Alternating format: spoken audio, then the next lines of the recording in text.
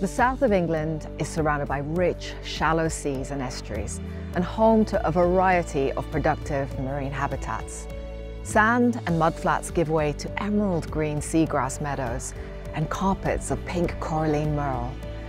These environments provide nursery grounds, food and shelter for young fish and marine life. They help to protect coastlines from erosion by taking power out of the waves and also help clean the surrounding seawater by catching particles. As the tide recedes, the mud and sand become rich feeding grounds for both migrant and resident birds. All of these habitats draw down carbon from the atmosphere, making them important for maintaining a stable climate.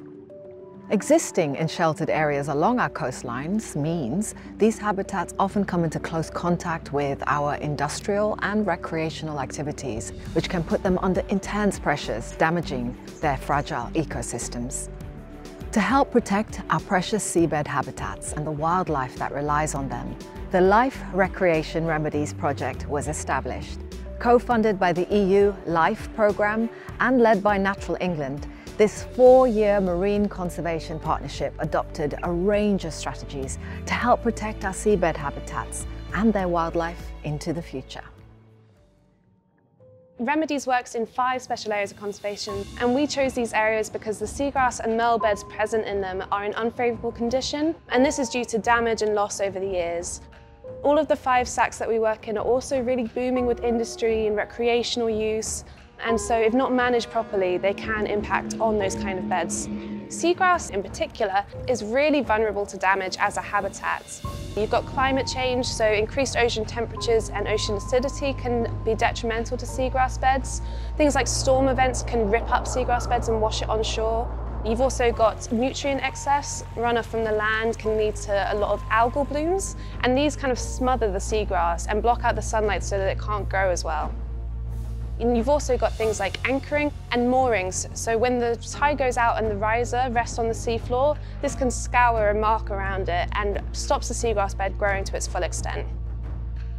One of the key elements for any project like Remedies is monitoring and research, and this gives us a basis and establishes the evidence and data that we need to be able to go and do our work. So we go and we measure different things like the quality and the extent of our seagrass beds. And the other key type of monitoring we do is recreational activity surveys. This allows us to establish any areas that might be more problematic than others, where we might need to put different types of management in. Today we're surveying the seagrass beds out at Cawsand and possibly at Drake's Island as well. So what we're doing there is trying to assess the condition of the seagrass beds, counting the number of plants within a 50 centimetre by 50 centimetre square and also collecting samples as well to check on the health of the seagrass beds. And what we're doing is we're comparing the results from the surveys from 2018 to give an overall indication of the condition of the seagrass beds and the subtidal sandbanks within Plymouth Sound and Estuaries Special Area of Conservation.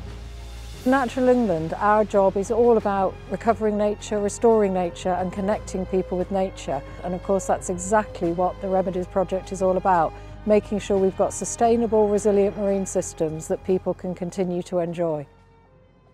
The second part of Remedies' work is protecting our seabed habitats. This is done by managing access, raising awareness and installing environmentally friendly boat moorings, or AMS. AMS are advanced mooring systems and we call them that because they take the pressure off the seabed whilst allowing mariners to have a secure anchor. This is either done by a bungee system or by floats that the boat attaches to. The abrasion of those chains is completely removed, releasing the seabed from that threat to it. So we originally installed the five moorings that we've been monitoring since 2019. We recorded the density and length of seagrass around those moorings every six months. But in May this year, 2023, we saw a 221% increase in seagrass density and an increase in average blade length. We also want to continue seeing what the recovery at Cawsand might be and widen our influence with yacht clubs and mariners around the country Next we have voluntary no anchor zones and these are how we're managing access to certain areas where certain damage happening due to the anchoring process. And so what we've done in these circumstances is we've gone to the local communities, we've gone into the sailing clubs and we've presented the data and evidence that we've found as to why they might need a management measure. And these voluntary no anchor zones, we put in marker buoys to outline the area and this gives the boaters all the information to make an informed choice about where to anchor. And going out and having those conversations has actually made the process way more successful. People are really on board with it, they've explained their local knowledge to us so that we can really determine the best way to put the marker buoys out and the best signage to use to actually convey our message properly to people. So we're here at the Southampton Boat Show um, and the Green Blue has a stand and we're welcoming visitors to talk about how they can be more sustainable boaters in general. But we're also here as part of the Remedies project to explain to boat users where seagrass is in their local waters, what they can do in terms of more sustainable anchoring best practice. And we have a life-size advanced mooring system on the stand for visitors to come and actually have a look at it.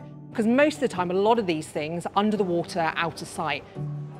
We have an expert seagrass panel happening and it's going to allow the audience to come and watch and listen to find out all the fantastic work that these projects are doing to help protect seagrass through restoration but then also be able to give information to the audience on what they can do when they're out on the water doing their boating activities.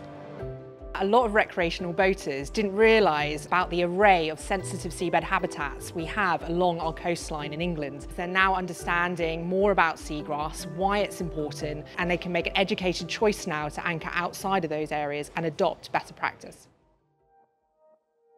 Active restoration is the next element of Remedies work, with the aim of expanding seagrass meadows that have been damaged or lost. The Ocean Conservation Trust are working in the Solent Maritime and Plymouth Sound special areas of conservation and are aiming to plant eight hectares of seagrass by using new methods and innovative technologies. We have to firstly identify areas that are healthy and where we can collect seagrass seeds. We send divers down, collect those seeds, clean them, look after them, and then within the lab conditions that we've created that are the ideal growing conditions for them, we try to nurture that growth from these, uh, these tiny little seedlings. Once we've collected the seeds, we're able to put them into this state-of-the-art lab that we have at the aquarium. That's nine large tanks that can hold 100 pillows and in each pillow we can plant 100 seeds. So we're able to take a huge number of plantlets and grow them into adults. And then as we've started to move them out into the sea, we've seen a really incredible success. It's so great to dive on now because you can go down and see the pillows and then you can see an increase of seagrass everywhere. The remaining element is education and outreach. By engaging with local communities, schools, water users and citizen scientists, they aim to generate awareness of our seabed habitats and inspire action to help protect them.